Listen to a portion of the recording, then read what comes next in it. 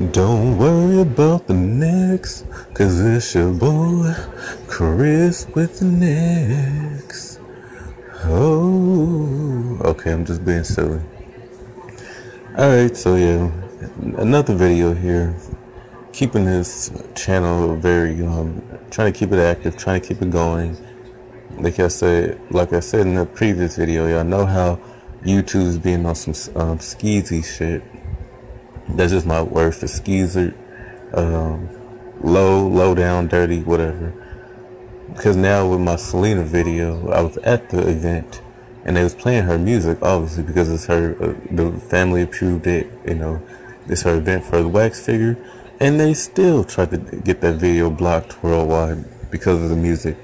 On behalf of MEI, um, the Latin company that owns uh, Selena's music and publish it. But it was at an event. Anyways, like I said, YouTube is on some on some skeezy shit, and I ain't here for it. But anyways, keeping this channel active. But I do want to come to talk about everything resurfaced, and I feel like the '90s is re- resurfacing. Now we got Pokemon Go, everybody playing Pokemon we got some of our sodas coming back. Well, Crystal Pepsi was more of an 80s thing, but still, you know, it's, it's trying to make its little comeback. I don't know how big it's taking off because I don't really see it as much, but yeah, it's making its comeback. What else? What else? What else? Uh, we have a lot of things from 90s, um, but the braids is always the braids has always been a thing. That's something that's never going out of style. And last but not least, the Brandy and Monica beef. Now y'all know I love me some Brandy. Mo to the E to I wanna be down. I put that on everything. Um, this, I love me some Brandy. You know, she made the braids a, a big staple, a, a very popular because somebody told her that she shouldn't be wearing braids, and she was like, "Oh no, okay, I'm about to do it in every style that you could wear in regular hair." And then you know I love Miss Thang, Mon- uh, Monica. You know, street, very raw. Like she said, they was a part of elite group. It was her, it was Brandy, and it was Aaliyah. You know, killing stuff. And rip, shout out to baby girl, rest in peace. Aaliyah, you know, street but sweet, the gangster child the princess of um, R&B. You know, we really miss her a lot. And hopefully the Mac thing goes through, and the biopic, and the wax figure thing. Because we, Aaliyah, man, Aaliyah, she's about to blow up very big. So, um, you know, I love me some Brandy. I got the Brandy petition going on to get her made into a wax figure. The link will be down below. I think it's at 252. Uh, stars, I know y'all signed the petition. By the end of this year, that should have a thousand. I was barely getting to 500. So yeah, because um, Brandy's accomplishments, I have two videos up here, you know, showing her accomplishments as well as on the uh, petition. So y'all go ahead and sign that. All right, so the this um, I guess the beef got reunited where Monica did a So Gone challenge. Somebody asked Brandy she should do it, and she said Child Bob. So then uh, Monica went on the reel to address the situation. She said she was taking a high road because, you know, the old her would have probably had to, may need to see Brandy. But the, the new her, you know, she's not going to tell her kids to do something that she can't do, which is more than fair enough. And I feel that and yeah, she said it wasn't easy. Like she's always been vocal about the, uh, kept it tasteful, but very been very vocal about the situation between her and Brandy. And Brandy, I guess it's the same way. She's not saying what's going down. Because Brandy hashtag something saying, "We know this a real you. I know the real you. Don't try to fake that positivity." So my thing is like, what's going on? Because the beef back in the day, they just comparing the two together. You know, because they, I mean, they on both on different levels, you know. Uh, they, but Aaliyah they left out because you know Aaliyah was on some other flow, you know, the the sweet girl But you know, Brandy always had that um, you know, sassiness to her, and then you know, Monica is the street. You know, she very you know hood street like Mary J. Blige. So I guess that's why they try to compare the two. But then Brandy, you know, was more of a brand, so she kind of took off more than Monica. And so then they wanted her, I guess, feel some type of way about that. But then when they did The Boy Is Mine, and they first met up, that song, of course, it couldn't work without anybody else in it. And they got their Grammy together. And um, they both each should had Grammys for different songs. Like I feel like Brandy should got one for Have You Ever, and I feel like Monica should got one for, you know, Before You Walk on My Life, uh, For You I Will, just other songs. But they both do have a Grammy because of that song together, which is good. But what I was hearing from back in the day, they was just saying that Brandy was mad because Monica named her album "The Boy's Is Mine," which was Brandy's song, and then that kind of got into they got in, got into it for that. And then when they went to go rehearse the song at the 1996 or seven, um, whichever year that was VMAs, uh, they Brandy when they was rehearsing the song, Brandy wanted the song rehearsed another way. Monica felt some type of way.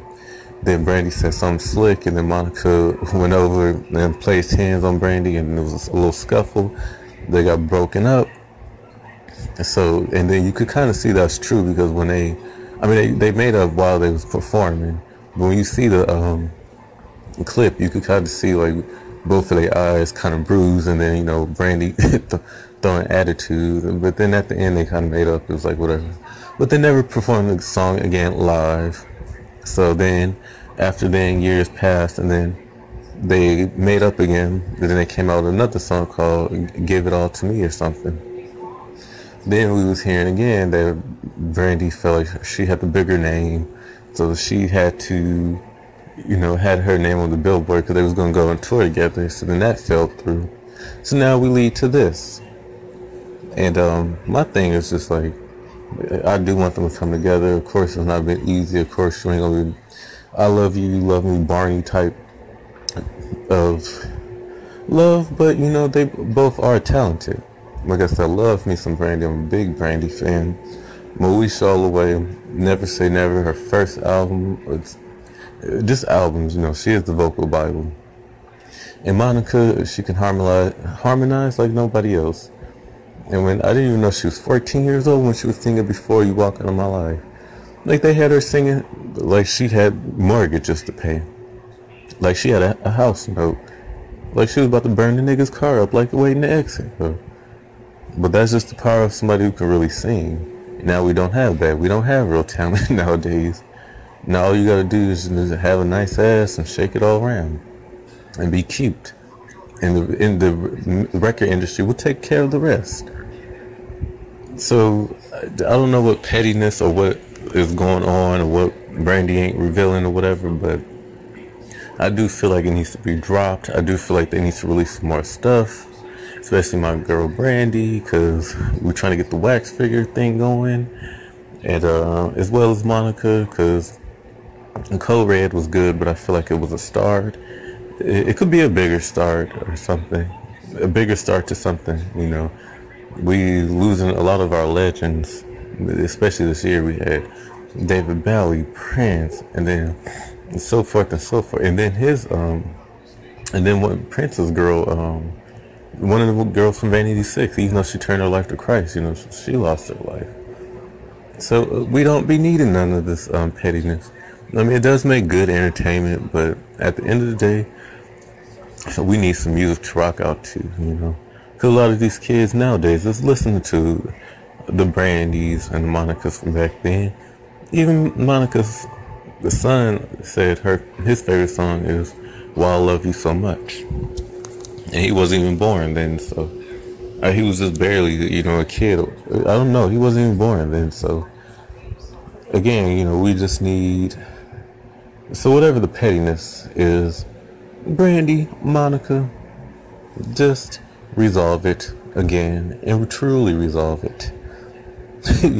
you know, just truly resolve it. I, you know, because when you know something, when you want something to be shown, or you don't like something about somebody, you will be that type of person. Be like, well, I ain't trying to, you know, mess with all this.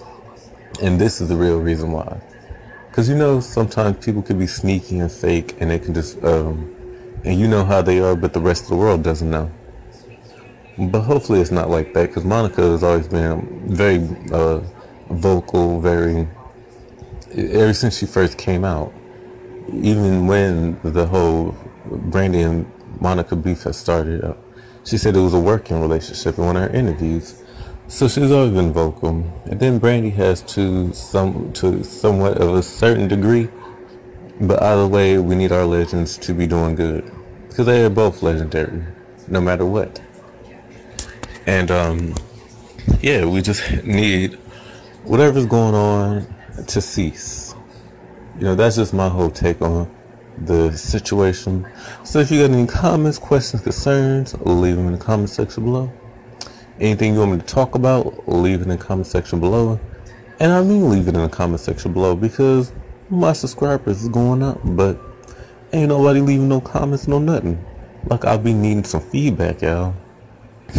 I, I can't. This is a one man show, but I need some feedback from my audience because I do it for me. Like I said, what I failed to mention in the YouTube monetization, YouTube better have my money uh, video that this is therapeutic for me. This is a way for me to be creative, to be have my outlet. I know a lot of other YouTubers said the same thing, like um, Product Junkie XOX or um, Big Thick Chick Vlogs and a lot of other ones. You can tell who actually doing it for not just the money, but like just because it is therapeutic. But yes, YouTube, we do need to see our money because even with this, I can't even, even with this, this is kind of an easier way, but it's still not that easy because I got to upload this to, because this is off my phone, so I got to put it in a video format. To, so I got to put in a video format. When the video finished, then I have to put it to YouTube. When it uploads to YouTube, I got to rip that audio off, put it back into the um, video. Then that's when I make the real video and not including, you know, if I edit this or whatever. So, yeah, that's just my thing. I'm just rambling, going on. All right, this has been your boy Xhris with the next. Till next time, peace.